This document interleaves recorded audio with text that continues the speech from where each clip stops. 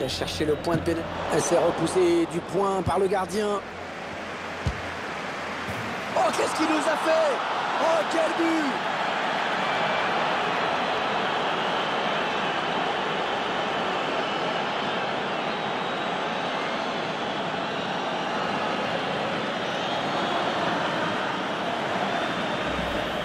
Après, il a fait de la puissance pour marquer d'aussi loin. En tout cas, ça donne de magnifiques images. Regardez son équilibre au moment de la frappe. Il rentre bien dans ce ballon. C'était le seul moyen pour marquer à cette distance. Quelle puissance dans cette